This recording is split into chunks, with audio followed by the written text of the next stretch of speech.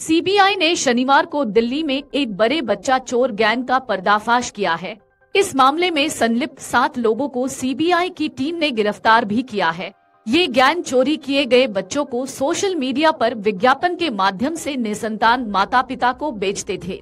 CBI के अधिकारी ने बताया कि हमें इनपुट मिले थे, इसी आधार पर हमारी टीम ने हरियाणा और दिल्ली के साथ ठिकानों पर सर्च ऑपरेशन चलाया था। इस ऑपरेशन में हमें एक डेढ़ दिन तो दूसरा पंद्रह दिन के दो नवजात मिले। यह गिरोह इन्हें बेचने की फिराक में था। जिन सात आरोपियों को सीबीआई ने गिरफ़्तार किया है, उनकी पहचान सोनीपत के नीरज, दिल्ली के पश्चिम विहार की इंदु, पटेल नगर का असलम कन्हैया नगर की पूजा कश्यप, मालवीय नगर की अंजलि, कविता और ऋतु के तौर पर हुई है। पकड़े गए आरोपियों से शुरुआती पूछताछ में पता चला है कि यह लोग बच्चों को बेचने के लिए सोशल मीडिया का सहारा लिया करते थे। आमतौर पर ये फेसबुक पेज व्हाट्सएप ग्रुप जैसे सोशल मीडिया प्लेटफॉर्म पर विज्ञापन देकर गोद लेने वाले इच्छुक निसंतान दंपतियों से संपर्क किया करते थे।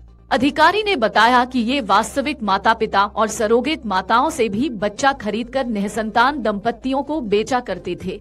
एक नवजात की कीमत चार से छह लाख रुपए होती थी। इन्होंने कई निसंतान माता पिता के साथ लाखों रुपए की ठगी भी की है। तलाशी के दौरान इनके पास से साढ़े पाँच लाख रुपए कैश और गोद लेने से संबंधित कई दस्तावेज़ बरामद किए गए हैं। आपको बता दें कि छापेमारी की शुरुआत शुक्रवार शाम करीब छह बजे से केशवपुरम इलाके से की गई, जो शनिवार को भी जारी रही। सूत्रों का कहना है कि छापेमारी पूरी होने के बाद ही यह साफ़ हो सकेगा कि आखिर बच्चों की तस्करी के यह तार केवल भारत में ही या फिर विदेशों से भी जुड़े हुए हैं।